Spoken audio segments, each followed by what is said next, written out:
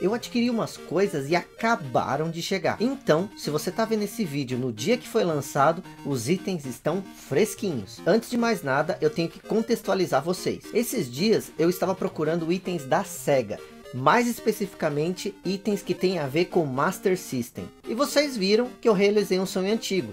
Eu comprei um Mark III na caixa. E o Mark III, vocês sabem, é o nosso Master System. Mas muitos de vocês confundiram Mark III com Master System japonês com Master System ocidental. E muita gente me pediu nos comentários para eu explicar isso. Eu peço fortemente para vocês verem a playlist que a gente fez sobre Master System. São três vídeos. Nesses vídeos eu explico certinho quais são as diferenças entre Mark III, Master System japonês e o Master System ocidental. E de quebra a gente ainda fala do Game Boy, que é o Master System coreano. Então vou deixar esses vídeos nos cards e na descrição do vídeo também, para vocês entenderem bem as diferenças entre esses três consoles, beleza? Bom, vamos para os itens. Itens da SEGA me interessam bastante, só que aqui no Japão são extremamente difíceis de achar e um pouquinho caros. Aí sempre eu acabo desistindo, mas quando aparece algo bom e comprável, digamos assim,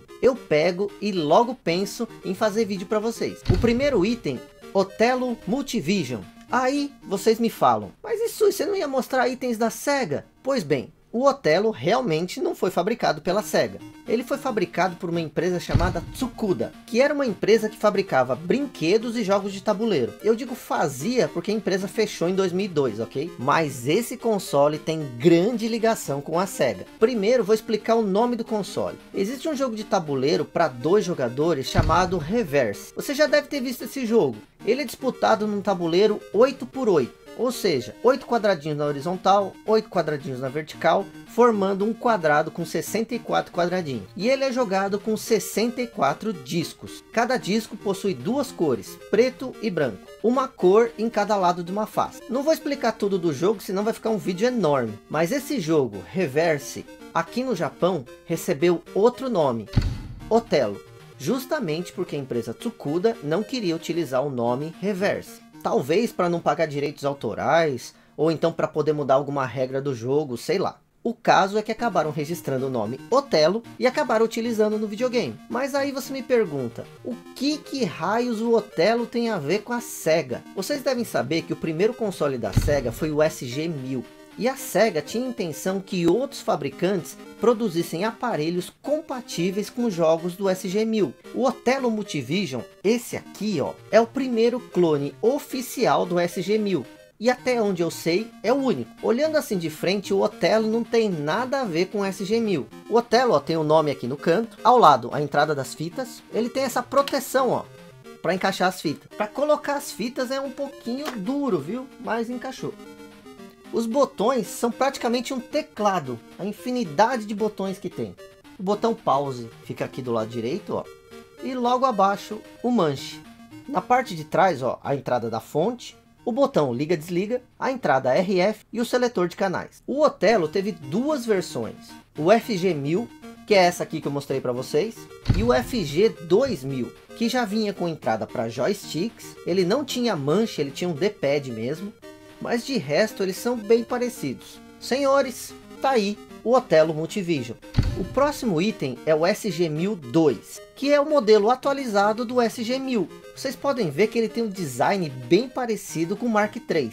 Na primeira olhada dá até para confundir, mas se parar para reparar, tem bastante diferença. Algo bem estranho é que as entradas do joystick são atrás do aparelho. Além das entradas dos controles, tem um seletor high-low, a entrada da TV e a entrada da fonte. Esse videogame, infelizmente, veio sem o botão de pause, mas ele é amarelo, igualzinho ao Mark III. E o que geralmente fica atrás dos aparelhos, que é o botão liga e desliga, nesse caso, fica na frente. Bem estranho esse design, né? A entrada dos cartuchos tem aquela portinha igualzinha do Famicom AV que eu já mostrei para vocês. Para colocar as fitas, requer uma certa forcinha. Aí, ó. Os controles são bem parecidos com o do Mark III, apenas os botões que não são tão arredondados. As diferenças entre o SG-1000 e o SG-1002 aparentemente são só o design. pois são bem similares e compatíveis entre si. Tá aí ó, SG-1002. Chegaram aqui para mim também dois jogos de Mark III, que possuem o recurso de som FM. Claro né, se você tivesse um Mark III com chip FM, ou se tivesse o Master System japonês, já que o Master System japonês já vinha com esse recurso. O primeiro é Captain Silver, um joguinho de plataforma bem razoável. Você vê que tem até a etiqueta do valor, que era da época. 1980 ienes, mais ou menos quase 20 dólares. Parte de trás da caixinha, fita e manual em ótimo estado. Mas agora, dá uma olhada nesse Afterburner, tá intacto, parece novo.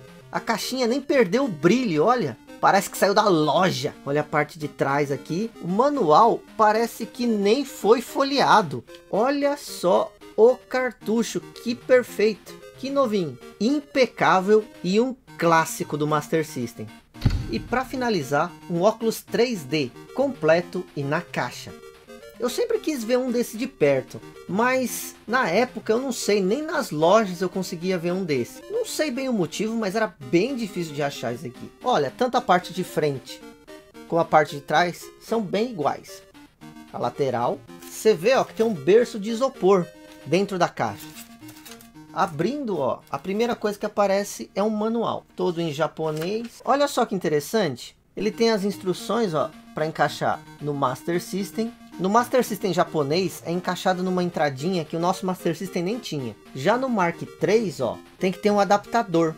Olha só, veio o adaptador. Deixa eu mostrar para vocês. Provavelmente, ó, esse é o mesmo adaptador do nosso Master System. E tá aqui, ó, os óculos 3D sentindo um cego aqui.